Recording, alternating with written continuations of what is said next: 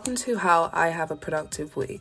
It all starts off the night before. I always prepare my weeks on Sunday evenings after my daughter has gone to bed. I pull up my laptop and write a to do list of all the things I have to get done throughout the week, content ideas, meetings, and other mundane tasks like washing and appointments.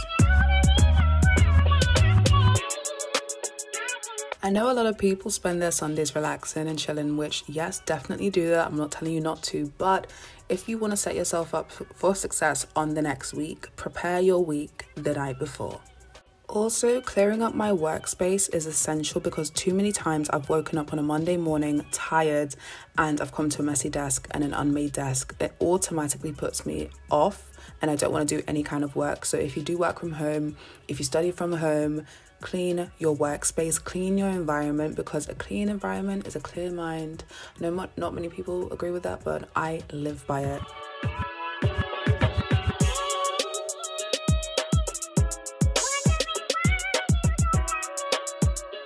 I tend to wake up after my daughter and my partner, so I take my time waking up because I know that my days are busy. Running around chasing a toddler and answering work and filming content is a lot, so I take my time to wake up. I do not go on my phone, no screens, no phone, no nothing. I just sit with myself, sit with my thoughts for a little bit before I get up, wash my face, and start my day.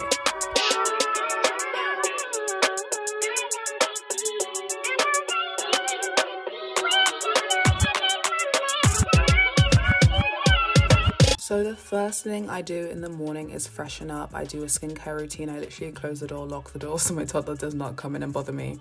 This is time for myself just to wash my face, brush my teeth, indulge in a little bit of skincare. But freshening up can mean anything in your routine. You just have to define what you enjoy. That could be doing a skincare routine like me, going on a walk, exercise, a shower, it could literally be anything. Just freshen yourself up in the morning. Do not have any distractions with your phone and answering emails and calling people. Do that after it can wait.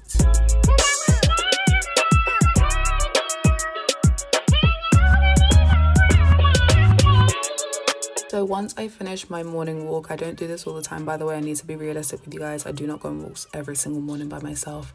But once I get back, I sit at my desk and I write a to-do list. Like I said before, I usually do this the night before, but unless I've forgotten something or if I have more things to do, I will sit at my desk, go on Notion, and I will write a to do list and plan out what I have to do for the day. That way, my mind is not boggled and confused, and I'm not overwhelmed.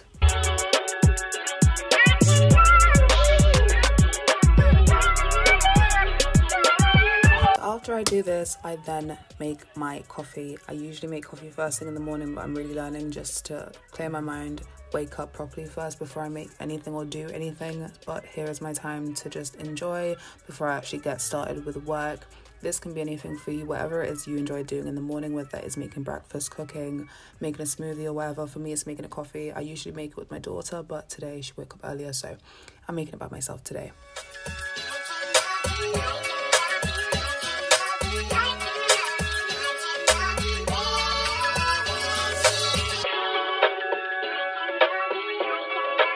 The next step is to break it up. Do not do everything in one go, whether that is homework or just work tasks that you have to do, filming that you have to do. Don't do it all in one sitting. Five little tasks a day or two big tasks a day. You just have to break it down because you'll get overwhelmed. Staying inspired is so important, whether that is reading books, magazines, traveling somewhere, or going somewhere new, going outside, music, or even film, or even just taking a good nap is really important just to keep you on your toes, just to refresh. Because if you're constantly doing the same thing, you'll get bored and you'll get demotivated. You need to stay inspired, you need to keep yourself excited, regardless if you are in school or at university or have a job or work for yourself. I know in my industry it's so important to keep myself inspired, otherwise, I'm not creating content take a break. Whether you work from home or go to uni, school, or college, you need a break at least once throughout the day. Get some fresh air, have some lunch, chat with friends, hang out with your kid. Here, I got an order from Zara. I got a trench coat and I'm sharing it with my daughter because she loves unboxing stuff and she loves things like me. So, this is my break. My version of a break is playing with her and hanging out with her and having a good time with her. So, this is your sign and your daily reminder to take a break. You work too hard.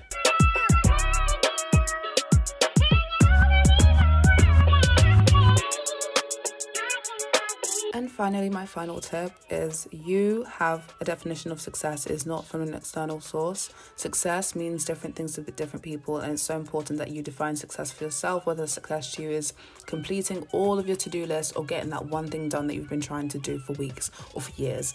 Success could be managing, you know, to get a break in, having real breakfast, not just fast food, spending quality time with your partner, your pet, or your child. To me, a successful and productive day is meaning that I've done at least one creative thing in the day. And days like today, I have. You're watching this video, aren't you? Don't forget to like, comment, and subscribe.